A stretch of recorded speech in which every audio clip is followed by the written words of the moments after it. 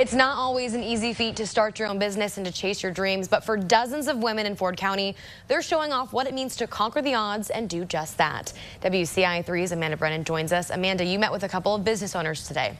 I did, Marley, and I talked to one woman who owns her own beauty salon and another her own antique shop. Both grew up in Paxton, the town they're still supporting and thriving in today.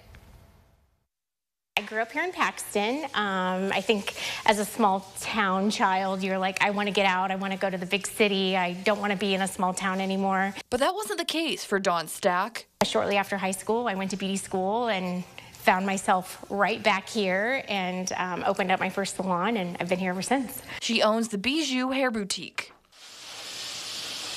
and is one of roughly 26 female small business owners in our town, Paxton. I think it's inspiring to see so many women doing, you know, living out their, you know, dreams and aspirations and, and becoming very successful in, in such a small town too. Romana Williams is another, just like her. It means a lot to be able to have a business in your hometown, the town that you grew up in, the town that you want to see thrive and and grow. She's owned Ruby Jewel Antiques and Gifts with business partner Melody Henninger for several years. We started in a booth and just had a few things and things tended to grow. It grew to where she is today, a storefront downtown stocked with items from others also tied to the community. And these are actually made in Paxton.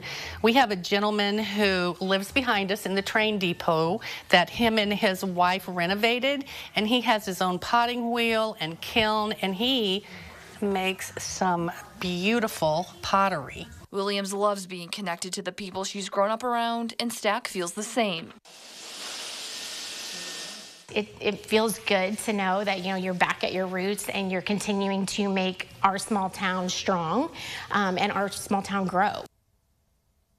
And there's so many more women-owned businesses in Paxton. The Prairie City Wine Room, Pop Loft, and Protype Printing are just a few others. Marley.